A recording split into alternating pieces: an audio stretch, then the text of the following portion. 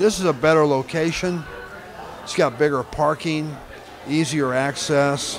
I'll have room to do uh, private parties, uh, wedding receptions, uh, entertainment from time to time.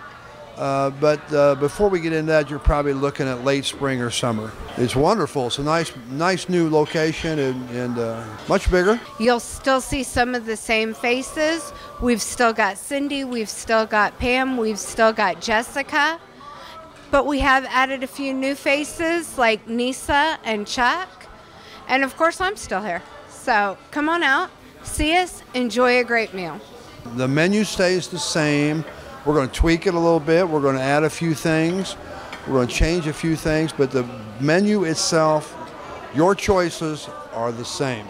And so is the price, too. Thank you. We have some of the best fried chicken. We have great specials every day.